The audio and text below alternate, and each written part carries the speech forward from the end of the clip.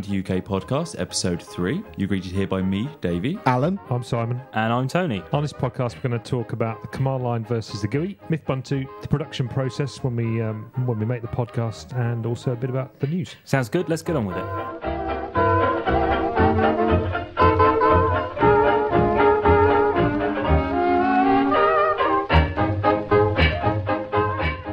I don't know who said it, but there is a theory that if you're using the command line to do something in Ubuntu, it's broken because you should be able to do it with a GUI. I wonder what you thought about that. Well, I, th- I think it's very much what you, what you're used to. Uh, I'm very much used to using the console, even for things which you can do graphically, probably easier graphically. But I, because that's what I'm used to, that's what I prefer. However, if I was a new user, then I may well end up using the GUI more. And I think that for everyday users, they shouldn't have to use the GUI, but they should be aware that Shouldn't that have to there. use a GUI or shouldn't have to use a command line. sorry, shouldn't have to use a command line. And I think that they should be aware it's there and know that they might have to use it for something. What's so scary about it? Why why should someone not have familiarity with some basic commands? Problem is, they're not basic, are they? You know, they not? command line is not basic. You've got to know what you're doing before you can use it. Well, no, well, no. If you said to me, "How do I upgrade a system? How do I upgrade the packages on my system?" Then I could either say, you know, you follow this menu path, system, blah blah blah, or you press the orange button in the toolbar on the top of the screen, or you open a terminal and type this command. Either way, I'm conveying to you how to do it. Sure, but it's a, it's one of the stumbling blocks. You, you've got to know the command before you can do the command. Yeah, but you've got to know the menu before you can choose the menu. Isn't the point? Isn't the point with um, the menu system is that you can just explore it? You can just poke around, try the different options until you find something that you want. Whereas with the command line, you're presented with a flashing cursor. Uh, unless you know what the commands are you're looking for, you know, you can try to use things like apropos and, and man. none of us live in a bubble. You know, a, a large proportion of us have access to documentation, whether that's online. You know, you you have online help in Ubuntu, and there's uh, help on you know Google and whatever. I don't know. I find it difficult when when someone says, "Oh, I don't know how to do anything," or "I don't know what to do." They clearly have zero Google skills, or you know, not haven't even bothered trying to read a manual when they stare at a, a console. Or is that too harsh? I think it is a bit harsh. We sit in the room and we ask each other. We sit on um, an IRC channel and we ask about things rather than spending hours and hours searching through Google or reading man or, or making error. I fell into the trap initially of, of you know popping into IRC and asking everybody, "How do I do this? How do I do this? How do I do this?" Well- and you only learn by searching yourself. Of Well, course. to some degree, I mean, some people learn learn by being shown how to do something. Some people learn by actually, you know, do, doing going off and finding it themselves. But if somebody shows you um, a specific thing, then you don't learn about the, the theory behind it. You don't learn about um, the So- shell. If you if you ask somebody about a specific command, you don't understand or, or But some people don't want to. Some people just want to know how do I upgrade my packages? Yeah. How do I how do I install you know whatever game? I don't care that the program dpkg does the install and it's held in slash var slash lib. You know they just really don't care. They just want it installed. Well, going back to what you said, uh, Simon, I actually have a different tolerance level. If someone I know is complete newbie, uh, I know that term is not necessarily correct, but you know, if someone who's completely new comes in and asks a question where it will turn up in the first hit of Google, I don't mind telling them the answer. But if it's anyone in this room here turn around and ask a really simple question that's obviously available in Google, I would, you know, say, "Here's a Google link." But that's because we're friends and you know we can rib each other Well, and stuff. I don't know. I mean, people who I've known for a year in the, maybe the Loco channel, if they ask the same questions, I, I probably would do the same. We'll take yesterday. I don't know if it was yesterday or the day. Before I think it was the day before. We spent how long with someone in a channel trying to help that person who was clearly quite inexperienced with Linux, hmm. and we got them from. They had a server install when I think they wanted a desktop install, and they wanted to get from a server install which only has a command line, so they had no option to try GUI tools, and you know basically every command we told them they just ran. They didn't really care what the effect of it was, hmm. and they don't really care what the underlying infrastructure or why in fact something was broken. But I wouldn't be surprised that comes with time. Yeah, yeah, totally. Isn't part of the issue that it's easier to help people via command line than it is via the GUI? With a command line, you can paste a string into a wiki or into IRC or whatever instant messenger, and you get some text back out that you can then look at and go, yes, that's worked, or yes, that hasn't worked. Trying to describe how to do something in the GUI, you know, click uh, applications, add new applications, search for this string, click apply, click yes to add uh, extra repositories. It suddenly becomes a, a much uh, longer description, and then you have to get screenshots if you have a problem that you want to debug, and Yeah. you're, hoofing bandwidth around and, and graphics and all sorts. So it I had becomes slower. I had exactly that problem about a year ago on a, a Linux user group mailing list. Someone asked a question. It was something really basic, like how do I install Cowsay or something like that. And I just replied sudo apt-get install Cowsay, uh, which you know is a. It's not a wrong answer. It's the right answer. And because it was an email, I was able to reply to that person with one line, giving them the exact answer. And I got berated by someone else on the mailing list, who shall remain nameless, um, because I didn't explain the graphical way of doing things. And it's the Ubuntu way to use the graphical interface. And, you know, what if I was a new user and you're telling me to use the command line? And what I think I'm getting at is I try and tailor the answer for the audience. If my brother phones up and says, How do I, you know, install some application? Then I'd tell him how to go through Synaptic. The fact that you were able to give one line which is precise and would do exactly what they wanted, maybe that is a better solution. No, the console is scary because people have never used it before. Most people come from Windows where everything is done on the GUI. You know, I was there, what is the command line? And it was scary. And it is scary to new users. Well, most most people under the age of what 25, 30. Not, I wouldn't say most people come from Windows. I'd say most people under the under a certain age who are not of a technical background. Okay. those kind. No, I'm not trying to be picky, No, no, but no. There, there are a significant chunk of people who are older than us who predate Windows and have used DOS and you know, Well, I mean, stuff. and- everyone, well, Windows 95 was still heavily dependent upon DOS as well. I mean, yeah, you could get away without using it, but Windows 3.1, you, you- that was DOS. Just a yeah, but there wasn't there wasn't much command line work. if you're not used to the commands and if you don't know the commands, they're difficult to use. I mean, when I started using Linux, I kept a big list of the commands. So what's the fix for it? Stop telling people to use the command line, or No, not give people more help? no. I think y- we need to keep the command line. It's incredibly powerful. Sure, use the GUI, but have knowledge of the command line so you, you know about it when you need to or want to use it. So should we, when we tell people how to do stuff with a graphical interface, also at the same time tell them how to do it with a command line? Individual dependent, of course, but yeah, I think Maybe, so. maybe on the forums, maybe there should be a tick box to say, I want a console answer, I want a GUI answer. It's tricky because any of these mechanisms by which you're asking for help in a text way, like if you compare two ways of asking a question, if I'm sat next to you and you're asking me how to do something, I might show you how to do it with the GUI because we're both sat there and we can both see it. But if you're on the other end of an IRC conversation or you're on the other end of a mailing list or a forum or any other medium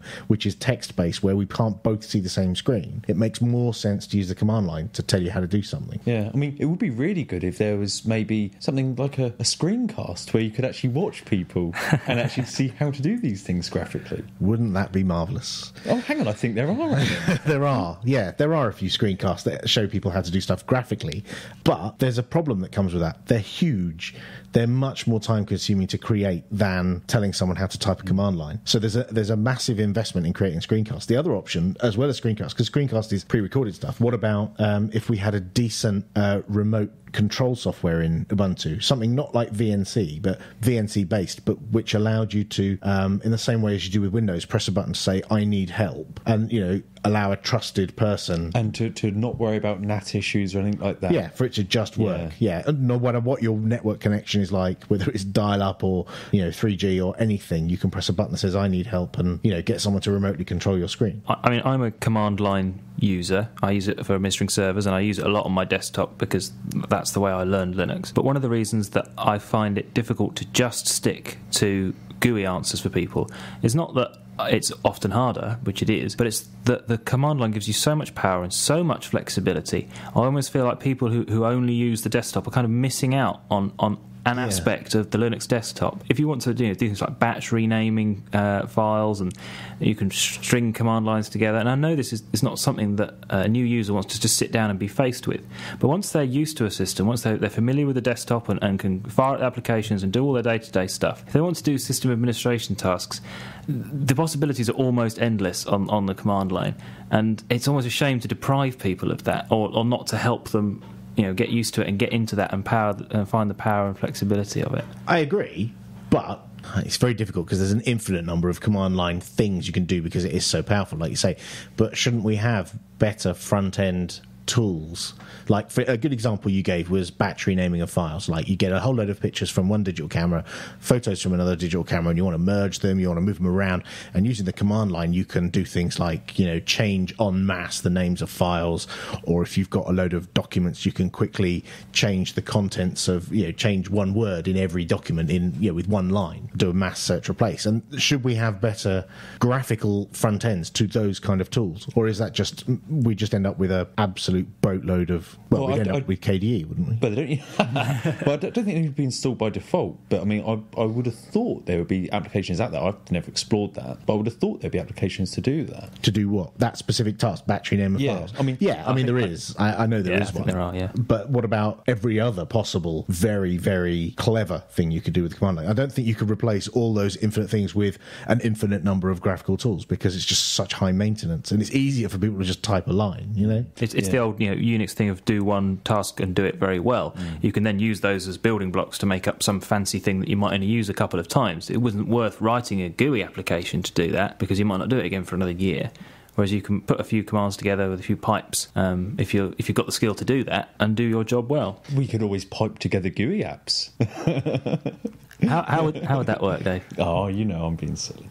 It's horses for courses. You know, it depends what you're used to. If you're used to the GUI, then you use the GUI. The command line's there. It's powerful. Learn about it and use it if you need to. We've just got to understand that some people are happy using the GUI and, and don't really want to get involved in the command line. If they want help using the GUI, we've got to you know, make sure that we can help provide help for them in that way, even if it is slightly frustrating at times because we're more used to the command line. We've been asked on more than one occasion how we make this podcast, what we use, and we thought it only best to let everyone know what tools we use and uh, software and hardware, so that if anyone wants to have a go at doing this themselves, uh, they know what might be involved. Of course, we're doing it one way. There are a million different ways to record a podcast, and this is just the way we do it. Right, before we get into the hardware, we um, have to write down our ideas, and uh, as things come up, as emails come in, as people come up with ideas, of course, we use uh, the ubiquitous wiki. In our case, we use uh, Moin Moin to you know write down all our ideas. And it's running on a server, a virtual server that we have for the Ubuntu UK website. It's, Yeah. it's a private wiki. It's But we like to keep the ideas sort of you know, at least a bit secret so there's a surprise and people will listen to the show. Exactly, and if people want to get involved in helping make the podcast, we'll give them access to the wiki and all the other tools we have. It's just keeping it out of you know the eyes So that's, of everyone. so that's where we put ideas. When somebody has a brilliant idea in the bath or on the, the way to work, whack it in the wiki. And then when we actually come up to the run up to the show and we're actually all, all sitting around saying, what are we actually going to record? We use Gobby, which is the collaborative editor. And we all connect to that and we can hash around um, the content, sort what order we're going to record segments in, take bits out, uh, and add comments. Yeah, and the content that's in Gobby comes straight out of the wiki. So the wiki is great for editing over a period of two weeks between one episode and the next. But then during the four hours that it takes us to make the one episode, we'll all sit there with Gobby open because it's easier for multiple people to, to edit the same document at the same time than it is for us to all commit edits to the wiki. The other thing we actually use is IRC. Uh, we actually collaborate quite a lot during the two weeks in between, and actually discuss content and what we're going to do and, and such like that, which, which has been quite useful. And also email. All the emails that come into the show uh, go out to the four of us that are here and uh, Dave Murphy, who was on the last show. Um, so we can all see comments that people have made and uh, people subscribing to our Twitter feed and things like that. So moving on to recording, how we actually record the podcast, I kind of, uh, it kind of depends really, because some of it is recorded in what we affectionately call a studio. Which is usually somebody's front room. Yeah. Then sometimes we record segments outside. So if we start off with the studio stuff, I have had for years uh, a mixer. I got a new one uh, a few months ago, and it's, an, it's a relatively simple four channel mixer, and it's got a few extra inputs and things. So it enables us to have four microphones all plug in, um, so we can all hear each other via headphones. We've got a little headphone amplifier, so we can all hear what's being recorded uh, and hear each other, and uh, it goes out through the outputs through to. Um, a Zoom H4 recorder, which is a little solid state recorder, records onto SD cards in WAV format. Um, and that's a great little device. Uh, that's what we use to record our interviews at FOSDEM um, because it works independently. So it's very easy, very portable. Stick it in a pocket, stick it in a bag, and off you go. I mean, I happen Yeah. to have a couple of fairly decent microphones there, SM58 Shure microphones, but you could use pretty much anything really. Yeah, yeah. Again, we, we're kind of lucky. Alan had a couple of mics from uh, a previous podcast idea, and uh, uh, I had one kicking around. But we have bought a, a few little bits and bobs just to help it along. Simon went out and brought another, a microphone and a mic stand. So once we've um, got this all recorded and the master, if you like, is on that Zoom H4 device on a solid state Yeah. uh, SD card. Yeah. What happens next? I take it off and I copy it onto my computer and I start chopping it around. Ta take out the stuff that's obviously rubbish and then listen to it again slightly more carefully and work out which bits and which segments we want to fit in, get an idea how long they're going to run for and see what we need to fit into a 40 minute show. That's pretty time consuming, I would think. Yeah, I've heard both the first two shows more times than I might care to discuss. So, what do you use for the editing? The first episode was done entirely in Audacity, so open source audio editor. The second episode I did using a mixture of Audacity and Ardour. The reason reason for starting to use Ardour is that it's non-destructive in some of its operations, so you can apply filters and, and, and make edits and cuts and things uh, without removing the data from the file. Whereas Audacity is destructive, and if you apply a filtering process or an effect and then save it, you've effectively lost the original. So you would have to go back to the very very original sound files and fish out the bit you wanted if you decided to undo that effect. So I've tended to use Audacity for, for chopping the segments and chopping little pauses and things out because it's, it seems to be easier for me to do that. Whereas Ardour's great for putting the whole episode together, appl- applying processing, and just sort of tweaking the layout and sticking the music stings in between the segments. So, you mentioned the music stings, and we've had some positive and some negative comments about the music. Yeah. Where did it come from? I found it on archive.org. We talked about on IRC uh, the sort of feeling we were looking for uh, and the music we were after. And I was searching for sort of big band and swing and sort of you know,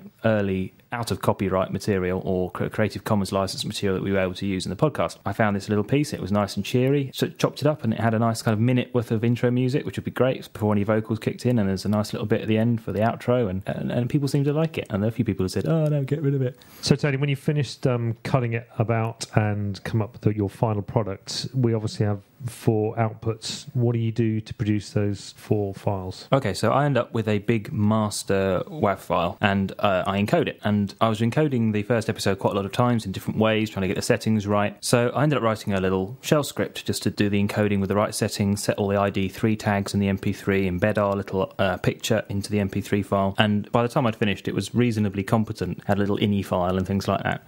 So I stuck it up on my website, which is tonywhitmore.co.uk slash repos, and it's called Podcoder. Regarding hosting, it's actually hosted on Ubuntu UK Loco server. Um, the web page is actually provided by the WordPress uh, engine. We use various uh, plugins, including uh, PodPress. Regarding mirroring, uh, we've actually, although it looks like a single file, that actually redirects to one of our mirrors, and that helps with load balancing.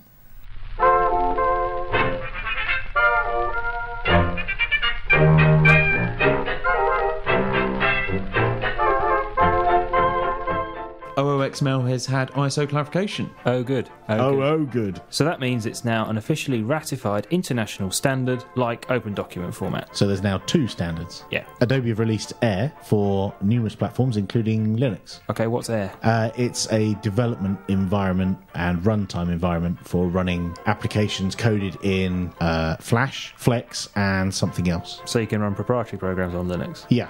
Ooh.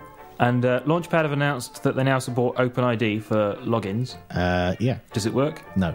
Right. The uh, the Conservative and Labour parties have both been uh, arguing about who um, started talking about open source first, who got on the bandwagon first.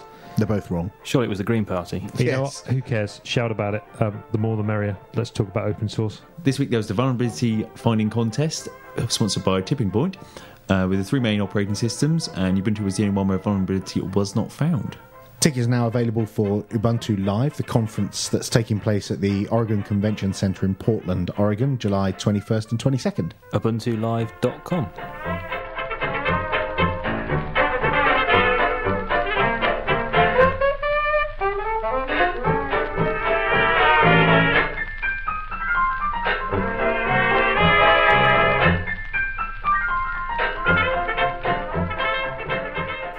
So, Dave, you're involved in the Mythbuntu project. What is it? It's a home theatre PC project uh, where basically it's a video recorder which is computer based. Okay, like a PVR, Yes. personal video recorder, Like a TiVo. sort of thing you can go and buy from the shops. Yes. So, what's the difference between Mythbuntu and uh, a PVR or a TiVo that I can go and buy in Woolworths? Well, I think the difference is, is, the, is the feature set, the fact that you can customize it, uh, the fact that you can easily upgrade it, and that you can connect it to your network and you can watch it on another computer or something like that using you actually drag and drop the files. And yeah, I don't think you can do that with TiVo. So, I need a full computer to run this. I need to go and buy a new P4 or a Core 2 Duo. Well, it's funny you say that because there is actually one of the developers who's running on particularly old hardware. I think his back end, because it's split on a front and back end system. You can run it on the same computer, but it, it's split. Um, one of the developers actually running it on, I think, on a 700 megahertz for his back end, and that's one which always stays on. There is a plug-in to make it so it switches on when it needs to, but most people tend to leave it on the whole time. And basically, that's a very low-powered computer, and all that does is that just does all the recording, and then you have a separate front end which actually does the watching. So what what does it record? Well, basically, if it's a Linux supported tuner card, uh, which most are these days, So a digital TV card. you can digital TV card, analog. Um, not so much in this country, but abroad they use cable, especially America. You can use cable cards. What about satellite? Satellite, yes. Uh, I'm looking at getting uh, FreeSat actually, which is the new uh, service being offered in, in Britain. Um, yeah, there's, there's also some function functionality to be able to stream. So what, like YouTube type streaming or? Yeah, yeah, there is a, there is a plugin for that. Um, and not everyone's all that keen on it because obviously the quality of videos on YouTube isn't necessarily home cinema view- viewing. And what can you do once you've once you've recorded? So I've does it does it have like a, a graphical interface? You said there's a, they said there's a back end and a front end. The back end does recording. Yeah, yeah. The, the back end does the recording, and that also presents um, a feature called Myth Web, and that's actually where you can uh, administer the whole system, so you can uh, set recordings, delete recordings, and even stream through that interface. So any computer that you've got an internet connection point, you can actually set programs to record from abroad and, and stream. So if I'm at work and I, I hear on, you know, or I see on the web that there's a program on later and I'm not going to get home to record it, I could log on via the web to my machine at home and set it to record. Yep, yep. I've done that many times. Yeah. Multiple channels will it record? Obviously, depending on what you're trying to re- record, can I record multiple TV programs? on the new version that's coming out, uh, MythTV 0.21, uh, that's actually got a multi-record option. And what that means is if you're running uh, digital Freeview, uh, you can record any channel which is given on that multiplex. Now, multi- cause basically, uh, there's about six multiplexes, I think, and all the channels are transmitted on them. So basically, if you have two tuner cards, say, you could potentially record up to ten channels simultaneously. The only limit is is, is how much is how much storage you've got and how fast you can write to the disk. Excellent. All right, because uh, if I understand it, all the BBC channels, or most of the BBC channels, are in one multiplex. Yeah. So you could record BBC One, BBC Two, BBC Three, and BBC Four at the same time with one tuner card. Yeah, I, I think four might be on a separate Oh, one, but okay. yeah, yeah, yeah. Give us the same point. Yeah, Wow. you can. Uh, yeah, so you can record BBC One and BBC Two at the same time. The only problem is, is when BBC One, ITV, and Channel Four have interesting things at the same time. And they're all on different multiplexes. yeah, yeah, right. So you're going to need a lot of storage space for all this. It, it, it's quite a large file format, isn't it? Yeah, I mean, you're looking at about a gigabyte an hour. So if you have a hundred gigabyte hard drive, you're looking at storing Yeah, but is that one gig an hour for one For one channel? for one channel. Yes, Right. Yeah. So I mean, I mean, I, I'm quite, you know, I, I, I'm quite into it now. Um, so I'm running. I've actually got two terabyte storage, uh, Uh, and I haven't deleted any programs since January. So, but I, I, that, that, that's more than anyone needs. I mean, I started on a 200 gigabyte hard drive, I think, for my storage. Can you not like squish them down a bit so that they take up less space? Yeah, you can. Then you lose the quality. But yeah. Well, no, but if if if quality wasn't your, you know, if you're watching it on a 14 inch TV in the bedroom, quality might not be your, Yeah. you know, primary concern. Well, the- the- disk space one might of the be. options that MythTV actually has is uh, user jobs, and that means that when a recording's finished, is you can set it to automatically or by option uh, set uh, tasks that happen. So you could compress and reduce to uh, a compressed file format automatically, or uh, one thing that a lot of people do do and is installed by default on the Ubuntu ones is uh, commercial uh, scanning. So it will actually automatically look for commercials in the recordings How well does it do that? reasonably well. It, it's particularly good on American programs um, because it looks for things like black splashes and difference in the screen picture, like the resolution, whether it's widescreen. You know, it looks for different things like that. Maybe logos in the corner. I, I don't know the specifics of that, but it's it, it's reasonably good. You say that you've got a remote, so it's a PC, so I don't have to sit there with a keyboard and a mouse in my living room. Yeah. It supports remote control. Yeah, um, I mean, mo- most um, tuner cards these days actually come with remote controls, and that they are generally supported.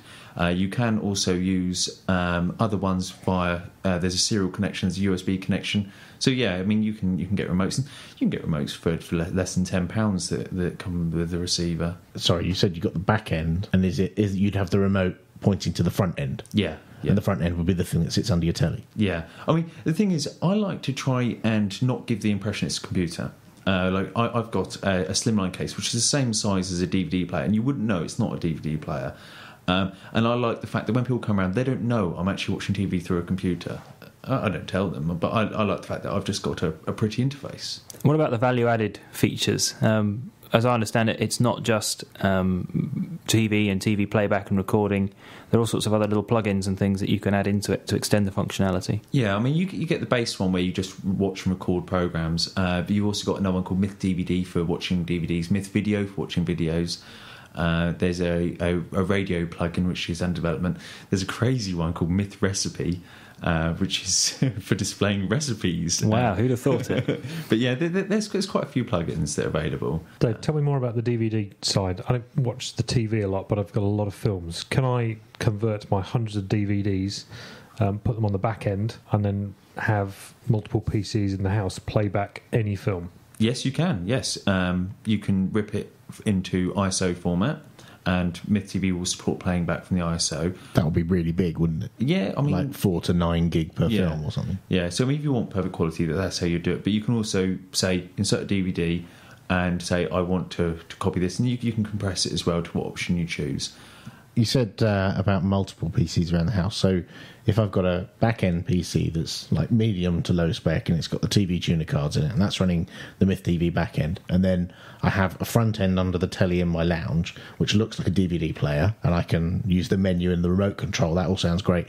But you said you could have multiple front ends, so I could have one in my bedroom. Yeah, I mean, it's just the other day I was using my laptop as a front end, um, which is a tablet, so I can fold the screen round and using that wirelessly with good signal, it works quite well. So you don't have to wire up your whole house with Ethernet. You could use wireless. Well, yes, although What, what's the limitation? Is it the speed that Yeah, I mean, uh, if you if I've got bad signal, it will be juttering. I mean, I, I would recommend Ethernet or, or power over Ethernet. Uh, uh, Ethernet. Ethernet over power? Yeah, yeah. Myth TV actually has two options. It's got an inbuilt streamer.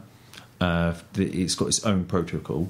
Uh, but it can also support reading from the file system. Uh, so if you've got an NFS or, or Samba share mounted to the front end, you can also make it so the front end will actually read that file directly rather than stream. So if I've got a, a box with some files on, like one of those little NAS boxes you can buy that shares out disk space over Samba and NFS, I could use that. Is that what you're saying? Well, the the new Myth TV that's coming out actually supports storage groups, uh, so you could mount that as a storage location on the back end. Right. There's another feature that you've mentioned to me in the past that sounded quite interesting, which was um, for for my situation when I'm at work. Well, when I'm not at work, but in the evenings when I'm not at work, but working away from home, I'm I'm staying in a place where I don't have a TV aerial, so I I can't watch TV, but I have internet access. So I'm recording programs at home. Would it be easy for me to watch the programs that I've recorded at home from another location if I've got internet access? Yeah, I mean MythWeb, as I think I mentioned earlier on, it's actually got inbuilt streaming, uh, which actually does uh, uses Flash. Uh, it's, it's not great quality. I, I would liken it to the BBC iPlayer uh, for for the quality. Uh, well, it, it does go to full screen, but it's also quite dependent on your upstream bandwidth as well. It- oh, of course, yeah.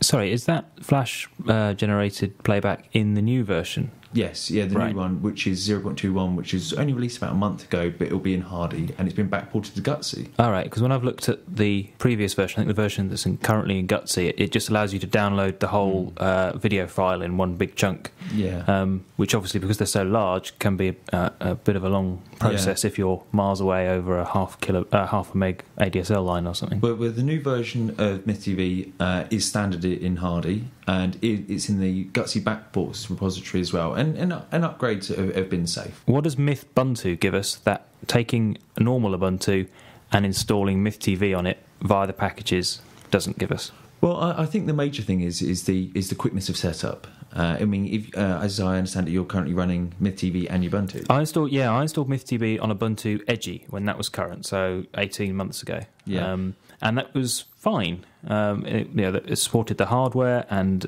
It was a case of working through the setup routine, which was okay to do, but I, I know I'm a technical user. I was able to do it. Um, and it's been upgraded since then.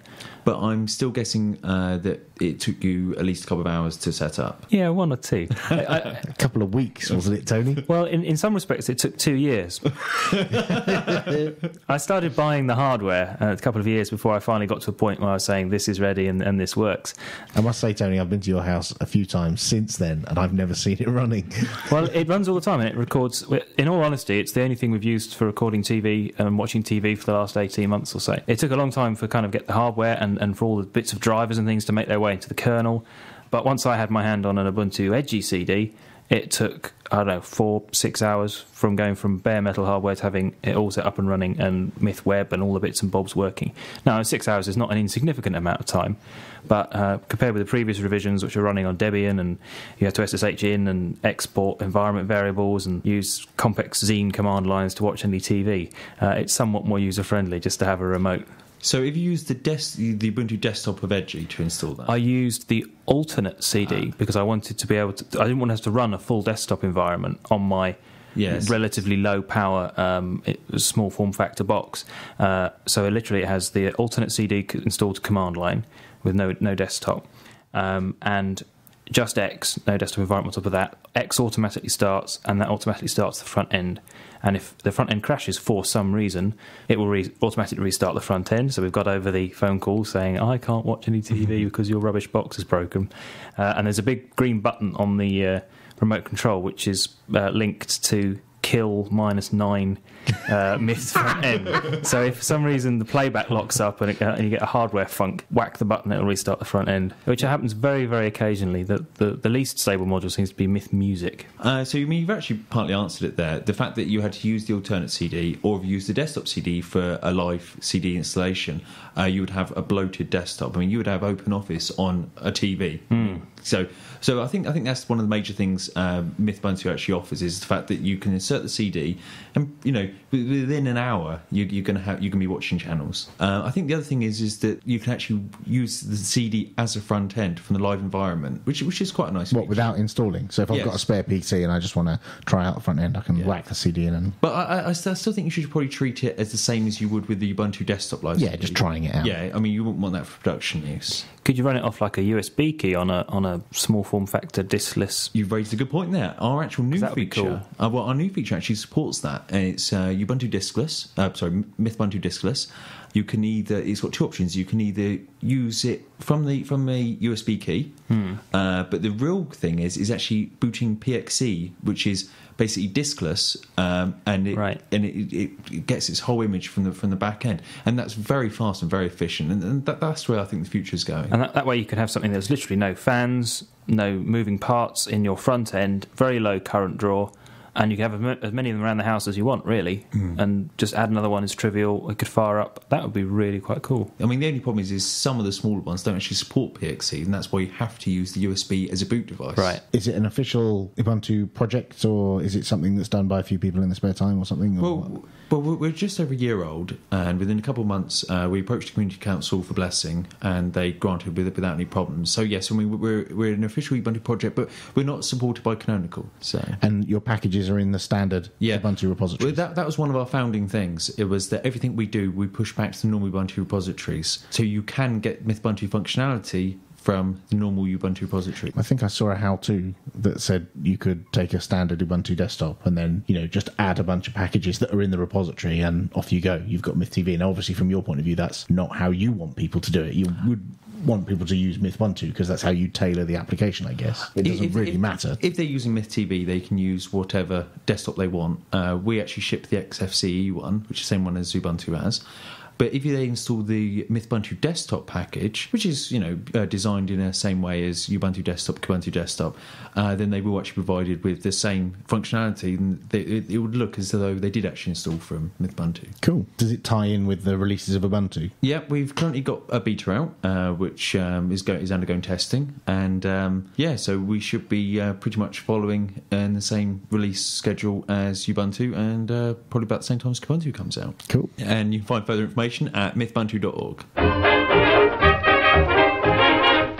We've had a few emails this week. Uh, one from Paul O'Malley asking us if we ever thought of doing audio tutorials with a web page of commands to give the extra layer of polish. I think what he's suggesting here is that we have some kind of tech talk teaching people how to do stuff within the podcast. What do you guys think about that? It's an interesting suggestion. Audio is probably not the uh, best way of giving over complex uh, commands, hence the uh, the document accompanying it. It would take a lot of work to polish and get right. And is it is it worth doing given there are other resources like the wiki and documentation and stuff? The Ubuntu Wiki is one of the major plus points of the community. There's so much stuff already documented on there. I worry, worry about creating a second version of that almost if we were to be hugely successful at it. And we'd also become out of date and not editable. Yeah, and it, I mean a lot of work. It's quite a lot of work just putting the podcast together. Never mind writing tutorials as well. Having said that, maybe there are members of the community who are interested in contributing tutorials. So what do you think, Dave? I think that might be a suggestion, but I don't know. Audience, let us know what you want. Emails to podcast at ubuntu-uk.org. We had an email from Michael G. Fletcher uh, on our segment about would you go back,